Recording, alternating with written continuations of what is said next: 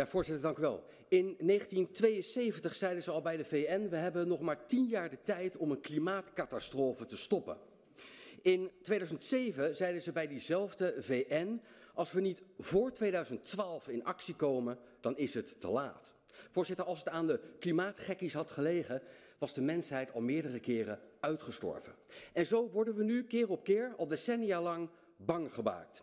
Bang gemaakt dat de aarde zou vergaan, tenzij we ons land volplempen met windturbines, tenzij we bomen verbranden en biomassacentrales en tenzij we kou leien in klimaatneutrale woningen. Bang gemaakt om vervolgens verregaand klimaatbeleid door de strot geduwd te krijgen. Klimaatbeleid dat ons verarmt en dat onze vrijheid van hoe wij hier willen leven ernstig inperkt. Voorzitter, Fit for 55, zo heet het klimaatpakket van Timmermans. En het klinkt misschien wat als een uh, onschuldig fitnessprogramma voor 55-plussers. Maar in de praktijk is het een alomvattend plan om de hele EU klimaatneutraal te maken. Het zijn plannen die Nederland desastreus zullen veranderen.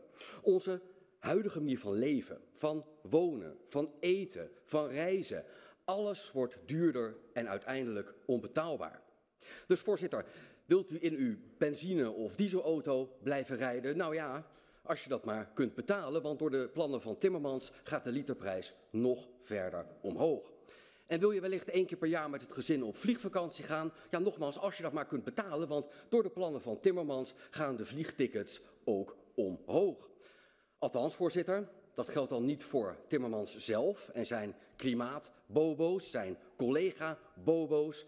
Want terwijl de burgers praktisch het vliegtuig worden uitgejaagd, laten zij zich ongegeneerd de wereld rondvliegen in hun peperdure, gloednieuwe privéjets. Het is echt te beschamend voor woorden. En dat uiteraard op kosten van de burgers, die zelf straks geen vliegticket meer kunnen betalen. De arrogantie van die EU-bureaucraten is echt schaamteloos. En voorzitter, tegelijkertijd worden de burgers dus aan alle kanten onder het mom van klimaat op kosten gejaagd. Als gevolg van de plannen van Timmermans. Groente, fruit worden duurder. Een stukje vlees, straks onbetaalbaar. En de energierekening die gaat nog verder omhoog. En de opbrengsten van al die nieuwe belastingen en heffingen zullen via een zogeheten sociaal rechtvaardigheidsfonds of een sociaal klimaatfonds, zoals het dan heet, over de EU worden herverdeeld. En herverdeeld, voorzitter, dat betekent in de praktijk dat de Nederlandse huishoudens naast hun eigen stijgende lasten ook moeten opdraaien voor het klimaatbeleid in Oost- en Zuid-Europa. Oftewel klimaatbeleid als een herverdelingsmechanisme. In Brussel noemen ze dat solidariteit, maar in Nederland betekent dat verarming. De klimaatgekte van Timmermans zal onze huishoudens regelrecht de armoede instorten, voorzitter. De interruptie van de heer Thijssen, PvdA. Dank u wel, voorzitter. Ja, ons eigen KNMI heeft eerder deze week nog gezegd dat Nederland zoals we dat kennen bedreigd wordt. En dat de zeespiegel dreigt te stijgen met 1,2 meter. En ik neem dat heel serieus en volgens mij moeten we daarom knokken om ons geliefde Nederland boven water te houden en klimaatverandering te stoppen. En ik weet niet of we het daarover eens worden vandaag met de PVV, maar wat ik wel wil vragen is, kunnen wij nou niet de handen ineens slaan dat al die maatregelen die er komen, dat we gaan zorgen dat het kabinet die compenseert en zorgt dat voor de gewone burger dit klimaatbeleid ervoor gaat zorgen dat hun leven beter wordt. Kan de PvdA en de PVV daarin samen optrekken dat er rechtvaardig beleid wordt gevoerd? De heer Kops. Ja, kijk voorzitter, iemand die, zoals de, als de heer Thijssen dan nu het KNMI gaat citeren, uitgerekend nu, hè, dat is natuurlijk al heel twijfelachtig. Het KNMI zou een onafhankelijk instituut moeten zijn. En vandaag hebben we in de krant kunnen lezen dat het KNMI toch wel heeft zitten samenspannen met bijvoorbeeld de windlobby, waar ook de heer Thijssen zo'n groot fan van is. Dat het KNMI in rapporten over gezondheidseffecten van windturbines de oren heeft laten hangen naar uh, de windlobby. Dat is natuurlijk zeer twijfelachtig. En dan haalt de heer Thijssen een uh, ander rapport aan van het KNMI over de stijgende zeespiegel. En het is wel erg treurig dat hij dan in zoveel andere debatten doet hij hetzelfde, het halve verhaal vertelt. Want als we naar de feiten kijken, zijn die als volgt.